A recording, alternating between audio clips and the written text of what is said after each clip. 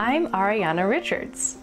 Over the last few years, I've had the pleasure of being the artist for the Children for Children organization, painting my interpretations of the music created by these gifted young composers.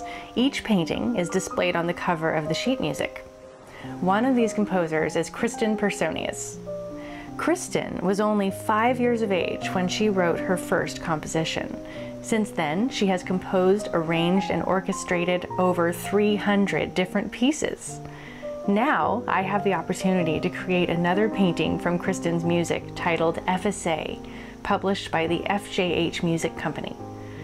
Just hearing the title of this piece, Effacé, by Kristen, impressed me with thoughts of something demure and unpretentious, and since I often go to nature for my images, I looked for what carries this sense of the quiet, but also carries a strong lyrical rhythm. What carries that rhythm more than heavenly bodies that silently move above? How could I not think of the moon just as the sky begins to blush at sunset? One day every month, the moon rises while the sun is setting, creating a twilight of spectacular colors.